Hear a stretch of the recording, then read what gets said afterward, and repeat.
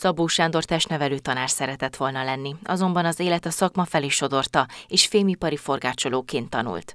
A fegyvergyálban tudott elhelyezkedni, mint Marós.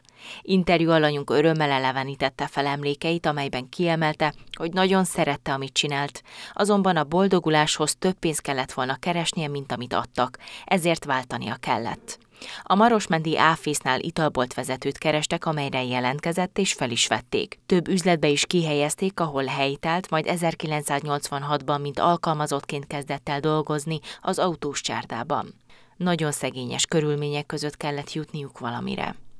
Kezdetleges szegényes üzletbe indul, ez olyan volt, hogy nem igen volt semmi, egy hűtő, egy gázsáma, egy tűzhely, tehát hogy nagyon nagyon gyenge volt a, a fölhozata. Maradtam az Áfésznél Fregoli voltam, Szörlőcsárda, akkor az Almási utca másik végén lévő büfébe voltam, Apátfalván,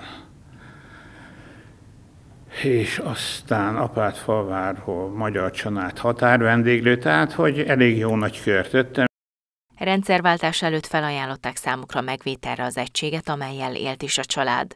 Sándor feleségével és kollégáival az évek alatt országos hírűvé tették a csárdát, ahová közismert prominens személyek, sztárok, sportolók, humoristák, énekesek, színészek is betértek, akik nem voltak restek írni a vendégkönyvbe, amelyet örömmel lapozgatott stábunknak a tulajdonos.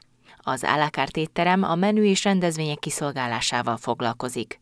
Továbbá szó esett arról is, hogy volt olyan időszak, amikor minden vasárnap diszkó is volt az autósban. Számtalan ballagásnak, esküvőnek, családi rendezvénynek, eseménynek ad otthont a csárda. Stábon kíváncsi volt arra, hogy mi a sikertitka a szerencsén túl. Szeretni kell, a, amit csinál, szeretni kell dolgozni, meg szeretni a vendégeket, és akkor ö, nem olyan sok baj van a vége fele. És akkor ezekhez még egy jó kollektíva, tehát azok a munkatársak, akik ugye kiegészítik, vagy kisegítik, kisegítettük egymást, hogy együtt, ugye az életünk egy részét együtt töltöttük itt el. Tehát azoknak is nagyon sokat köszönhetünk, meg hát most még többször mondtam, hogy szerencse kell mindenhez, hát mondjuk a, a szerencséhez azt mondom, hogy az út itt ment el. A családi vállalkozáshoz 1993-tól Csaba fiúk is csatlakozott az érettségi után, és azóta ő viszi tovább a mai napig az étkeztetést, a környék egyik legjobban felszerelt konyhájával. 2007-től pedig Norbert fiúk is erősíti a vállalkozást a turisztikai vonalon. Azóta a Cserdához kapcsolódó panziót üzemelteti.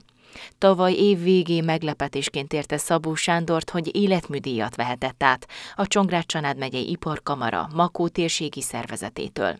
Mint megosztotta, hatalmas öröm számára, hogy elismerték a több évtizeden átnyújtott, kimagasló munkáját, amelyet a városban vendéglátosként végzett.